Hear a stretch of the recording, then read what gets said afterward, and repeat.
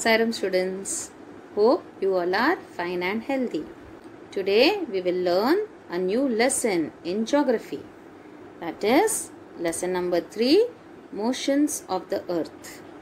That means the movements in which the earth moves. In this lesson, we will learn about rotation, revolution, leap year, solstices, that is summer solstice and winter solstice, and about equinox. But today we will learn about rotation, revolution, and leap year. Children, you know that everything in the universe is in motion. Nothing is stationary. That means everything moves. And our earth also moves continuously in the space. So, what are the motions of the earth? The earth has two types of motions.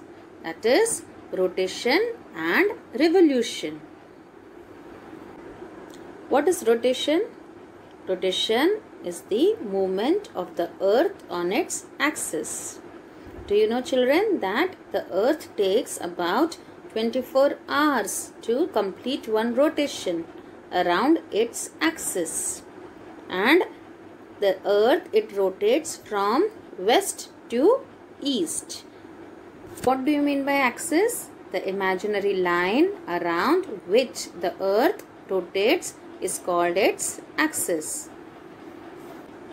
What is revolution? The movement of the earth around the sun in a fixed path or orbit is called revolution. You can see here the earth is revolving around the sun. So, this movement is called as revolution. The imaginary line on which the earth moves around the sun is called its orbit. Now let us see what is orbital plane. Here you can see an example of a top is given. We know that the earth it rotates like the spinning top and the top we can see is having an iron rod in the center which helps it to spin. But do you think that the earth is also having a rod in the middle, in the center? No. Actually, it is just an imaginary line that we are imagining. There is no iron rod as such. Okay. So, we just imagine. So, the axis of the earth, which is an imaginary line, it makes an angle of 66 and a half degrees with its orbital plane. The plane formed by the orbit is called the orbital plane. Here in these diagrams, children, you can see in the first diagram, the distance between the earth and the sun changes along the path as the earth's orbit is elliptical. You cannot see the entire surface as it is limited in the line of sight.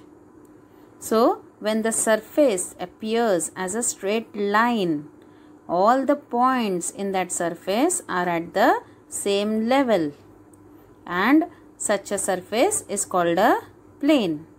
Now if you see the second diagram, so this imaginary surface is called the plane of the earth's orbit.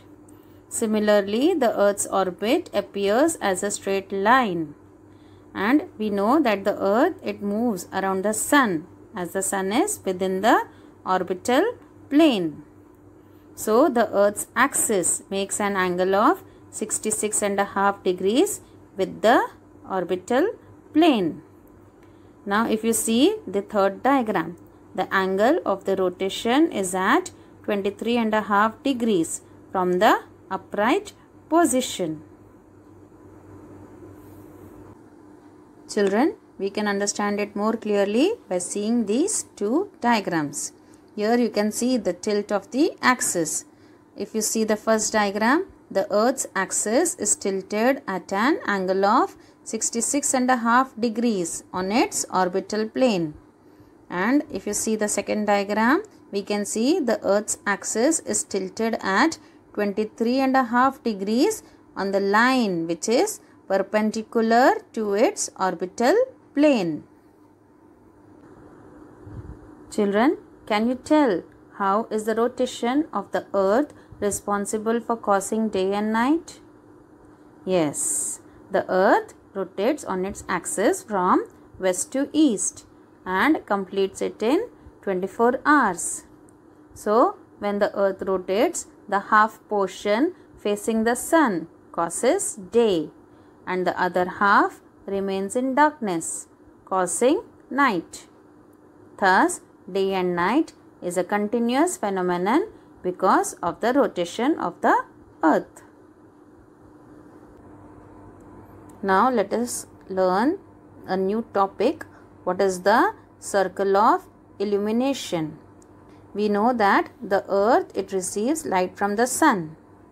So due to the spherical shape of the earth, only half of it gets light from the sun at a time and the portion facing the sun it experiences day while the other half away from the sun experiences night. Now here you can see in the diagram given. You can see the circle that divides the day from night on the globe is called the circle of illumination. Now as we know that the earth's axis is tilted isn't it so the circle of illumination does not coincide with the axis. Here children you can see two diagrams are given. That is in figure 3.1 we can see that the angle of inclination of the earth's axis with its orbital plane is 66 and a half degrees and if we see the figure 3.2 we can see that day and night are formed on the earth due to the rotation. So we can say that the circle of illumination does not coincide with the axis. Now let us learn what is earth day. As we know that the earth takes about 24 hours to complete one rotation around its axis.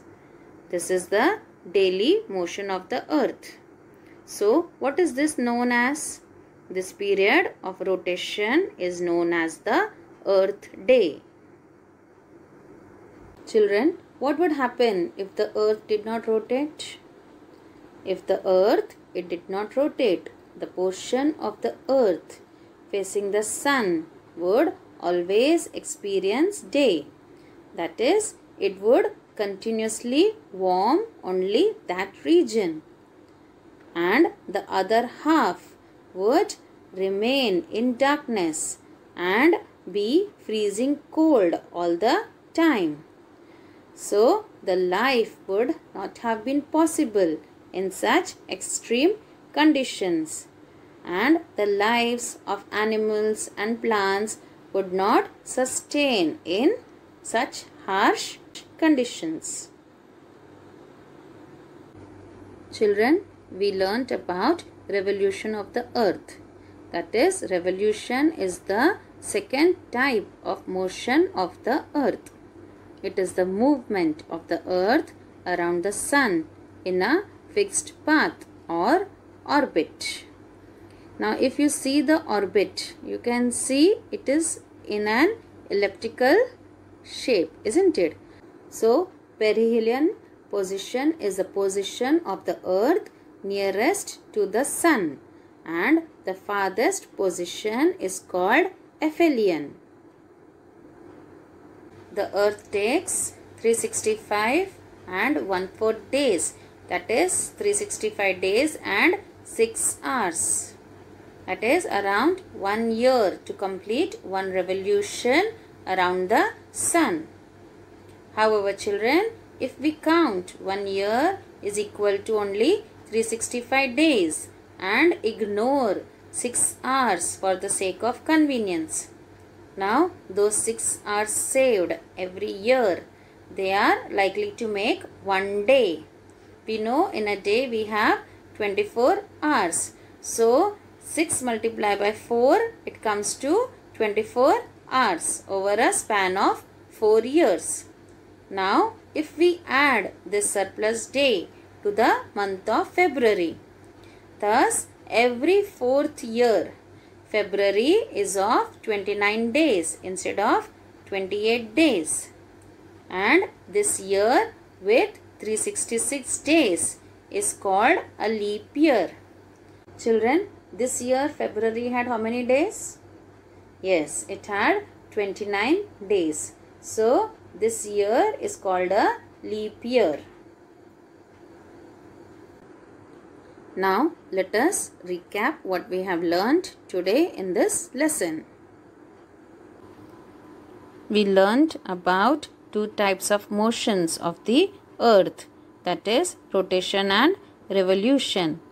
Rotation is the movement of the earth on its axis and the axis of the earth which is an imaginary line makes an angle of 66 and a half degrees with its orbital plane. The portion facing the sun experiences day while the other half away from the sun experiences night. And the circle that divides the day from night on the globe is called the circle of illumination. The earth takes about 24 hours to complete one rotation around its axis. It is known as the Earth Day. We also learned about what would happen if the Earth did not rotate. That is, the portion of the Earth facing the Sun would always experience day, thus bringing continuous warmth to the region, and the other half would remain in darkness and be freezing cold all the time and life would not have been possible in such extreme conditions. And we also learnt about the second motion of the earth around the sun in its orbit which is called as the revolution. And the earth takes 365 days and 6 hours to complete its revolution. And for the sake of convenience, a calendar year is considered to be equal to 365 days. Every fourth year that is 6 hours multiplied by 4 is equal to 24 hours. An extra day is added. Such a year of 366 days is called leap year. Children, we will learn more about this chapter in our next class. Now children, let's do an activity. Find out when will the next leap year be. I hope you all have understood this lesson very well. We will learn more about it in our next class. Thank you.